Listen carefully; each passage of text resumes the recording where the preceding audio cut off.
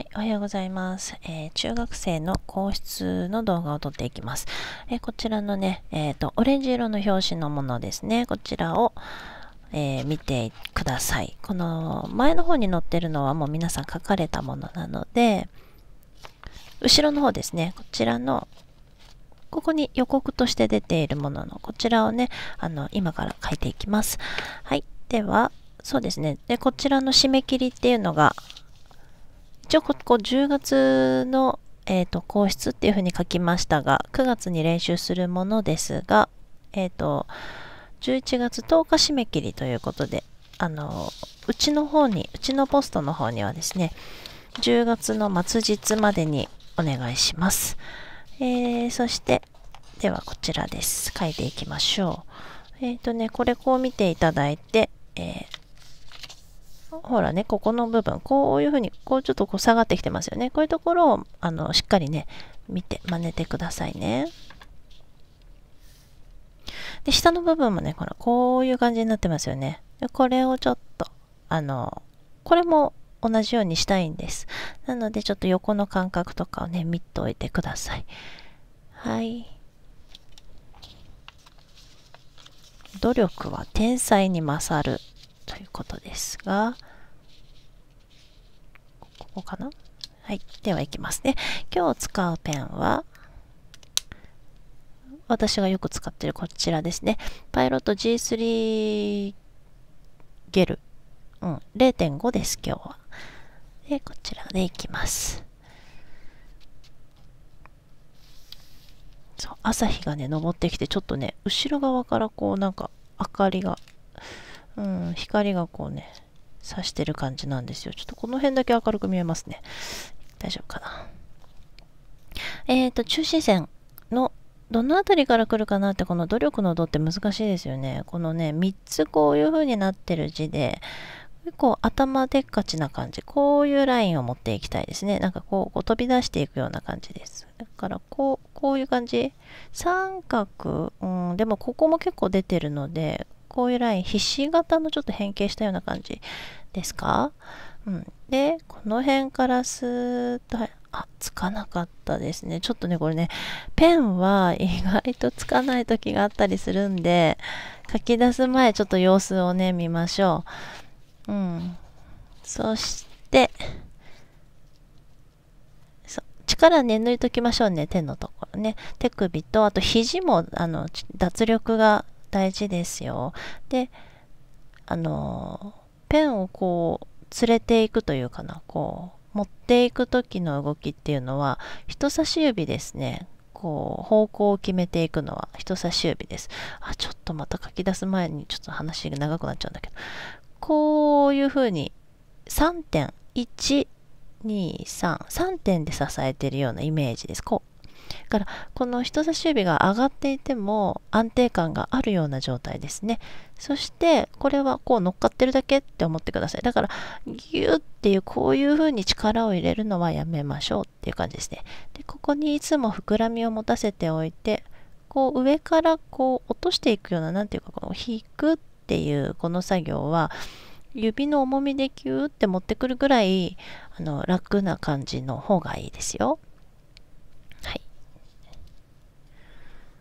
はい、では行きます。こう入っといて、キュッて上からこう縦ラインでこちらです。こんな感じ。払ったなと思ったらすぐに横に行くような感じですね。こっからキュッと入ってそっからこういうラインです。で、スッと抜いたらもうすぐ近いとこからこれなので、ほとんどつながってるような感じになります。ここの部分はね。こっちか。そう。これは、あのー、さーっていっちゃうと、うーんと、間に合わないですよね。すぐにここ。切り返してこの「また」という字に入ります。でここのライン見といてください。ちょっと上がり調子にしておくと次のこの「力」という字がこういうふうに入り込んでいきます。これもあのこういうところにギュッとこう入れていくのにまっすぐっていうよりはちょっとふわってさせた方がなんかこう入りやすいですよね。ギュギュッとこうね3個の文字をギュッとさせてあげること。そうすることであの綺麗に見えますしあのばらばらけて見えるとやっぱちょっとねダメですよねはい力ですそうでこうしといては今回もゆったりとした感じですねこの全体を見てみると全然こうぎゅうぎゅうな感じではないので行間、行間っていうか時間ですね。時間をゆったりとって大丈夫です。で、天才、点ですね。えー、こういう風にして下からちょっとすくい上げるような感じにしてあげて横へ行きます。そしてストーンと落としといて、さい。下からぶつけてあげるといいです。ここからこういう感じですね。勝るえー、っとスッとこれまっすぐラインですね。まっすぐにしておいてこういうところはすごく短くふわっとしたような感じで短くしてここからキューッと背筋をこうあの伸ばしているような感じ。この背骨みたいな感じのこのね締め方ですよね。でトーン下からまたこう上に行きます。この左側にある月の場合っていうのはね、こうやっぱこう辺側にあるってことだからこう上がっていきたいわけですよね。下のところ、ここの最後のところね、これ上がります。で、次に向かいます。こう、今ついちゃったけど。から、トン。1、2、2つのこの組み合わせね。1、2っていうこの点と、1、2っていうこの線と。で、次は左、右はストーン。で、まだ最後じゃないので、あんまり、あの、下にこう落ちなきゃっていうよりは、これがいますのでね、右下ラインは、ここがしっかりとこう、あの、地に足がついてるといいです。ここのラインね。で、る。はい、こんな感じですね。で、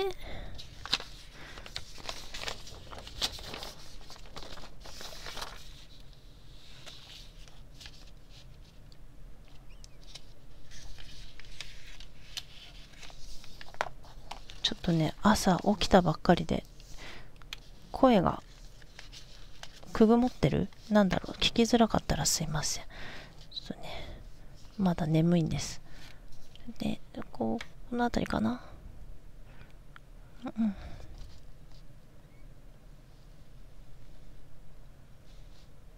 自分で、えっ、ー、と、これね、線が見づらいですよね。あの行の線これ中心線なんですけど行のあの端のところがこのラインにあるのでここですねビーッと、うん、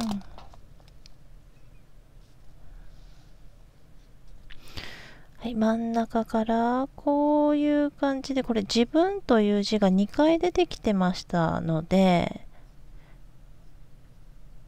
2回目の方をより崩そうかなと思います。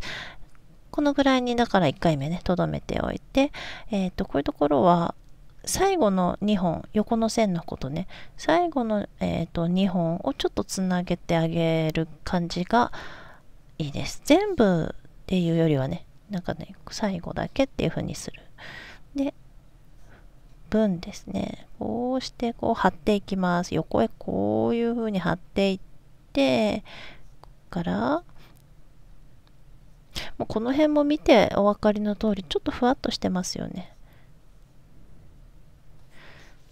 でひらがなとかはもう本当に力を抜いて抜いてっていう感じでいきます。あまりねこの中学生に関しては動画で撮る撮って説明を加えるまでもないような気がするんだけど本当は見てもう感じられると思うので言葉はね、そんな必要ないかなと思ってるんですけど、ちょっとだけこういうところ書き方が、なんか書き順が違うように見えるとこがあると思うので、そういうとこだけちょっと重点的にいこうと思います。これはギュッと上がってこうですね、ここからのスッとこっちにこういうラインで、これが自然とできるようになってくださいね。1、2ってきたらもうほら、毛筆で例えるとここギュッギュッと押すとこじゃないですよね。こからスーッと来たらそのままスッて抜いてしまってこちらへ次のところへ行ってそこからこうかぶせてくるような感じですね。そして上に行きます。そこからこうほら上に行った時は下から突き上げるようにここ。なんかこういう感じになるといいんです。ここに来てスッと落ちてきます。この時あの結構直線のような強い線細くなります。で上にこう跳ね上がるようなイメージですね。さーってどっか行っちゃうわけじゃなくて力をここでグッと止めといて次に行きます。この時どうに書いてるかっていうとこれ行書になると書き順が少し変わったりするんですが普通はほらこうしてこうですよね。小学校で習うやつね。これがこっからのこうに来てこうに来てっていう風にまあのこんな感じですね。っていう風にこちらからになります。でで私は今回これで書いてますね。そうですね。なのでやってみましょうか。さあえで2回目のこの自分というのがねきます。少しあの柔らかさをプラスしたような丸い感じの表情ですね。えー、こうしてここってすごく短いの分かります？短くしておいて次はここから素直に入るというよりはもうこういうふうにここ大きくこう捉えます。ここねこの空間を。だからこういうふうに持ってきていいわけですよ。入り出しね、ここは空いていいですよ。こういう風に着といて、少し構成と言います。構成、ちょっとね、こうね、内側にこう、膨らみがかかることを構成って言うんですけど、でこういう感じにしてあげると、ここ、あの、広く見えますよね。うん。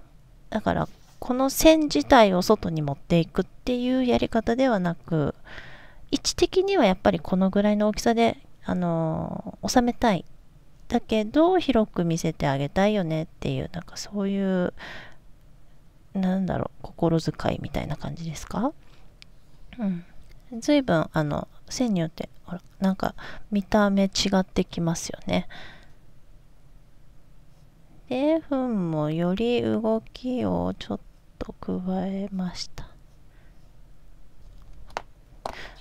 なんかねペンが出なかったり、出たり出なかったりするような時があると思うので、ちょっと振ってみたりね、あ、私が使ってるのはゲル、今ね、ゲルインクなので、少し振ったりするといいんだと思うんですけど、あの、万年筆使ってる方はね、振らないでくださいね。あ飛び散ります。結構飛び散るんです。落としたりするとよくわかる。あの、キャップの中にすごくね、インクがついてしまうの掃除が大変になりますのでねちょっとここになんかついてるなうんと。で乗る乗るっていう字あまり書く機会がないかもしれないんだけどこれあ今回もね他の学年にもありましたね。123この漢字えー、っと書き順ね。123にしといて、4、5、6。こんな感じですね。これまとめて覚えるといいですよ。さっきみたいに、1、2、3、長い、ここが長くて、えー、っと、向かい合ってるこれ、4、5、6。キュッて最後ね、閉じて、で、真ん中です。で、ちょっとこうしなってあげると綺麗ですね。で、こちらとこちら。で、下のラインちょっとこういう風にね、してあげます。で、ここをギュギュッと、あの、左のここの長さよりも少し長く、重ために持ってこれるといいかな。このくらい、このくらい、ほら、ここね。で、そこからのりです。こういう感じでりにこう入ってくださいね。乗り越える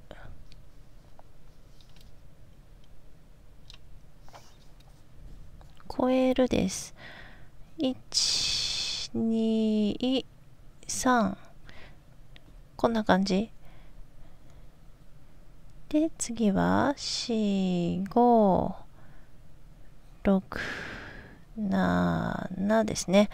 こんな感じでストンと落としてください。ここからここ、この下のラインが長ければ長いほどかっこよく見えます。そしてここ、接続上の方にしてあげることによって、ここの隙間が大きくできますよね。